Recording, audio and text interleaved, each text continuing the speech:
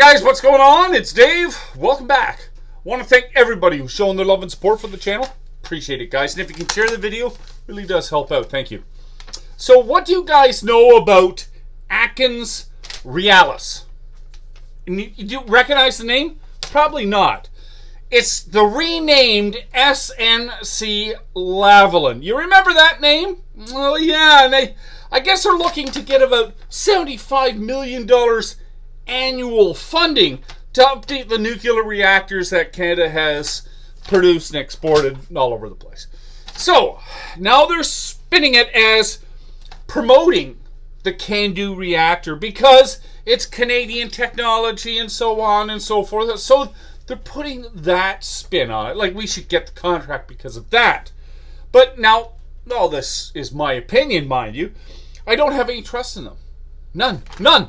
After look, okay, I know it's a different name, and it's been a few years, but that that smell of SNC Lavalin is still pretty fresh to me. Now, the SNC Lavalin debacle, it was bad. It was bad. There was a conflict of interest uh, violation. You know, Justin Trudeau, two MPs, female MPs, quit. $48 million in payments that SNC Lavalin made, blah, blah, blah. It was a whole friggin' disaster that Canadians just sat back and watched with their mouths hanging out and go, what the heck is happening?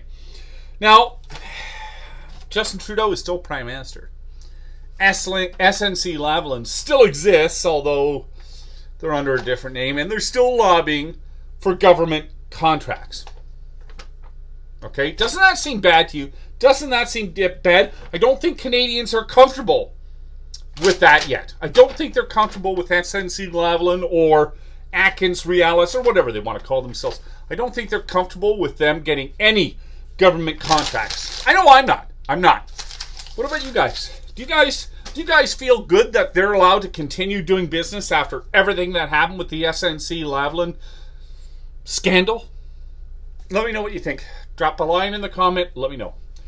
You guys take care. Please be safe.